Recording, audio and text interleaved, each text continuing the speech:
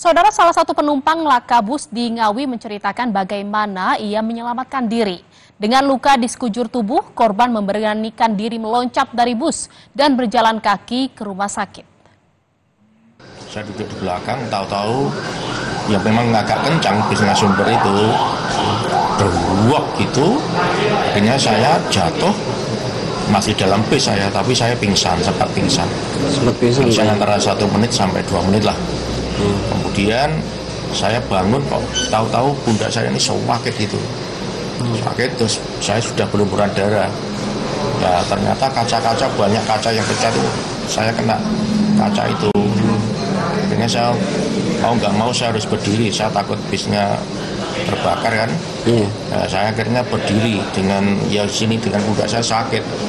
Akhirnya saya minta loh kok atapnya sudah lepas semua bisnya.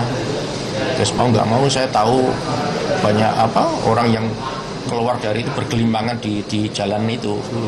Saya nggak mau harus keluar aku.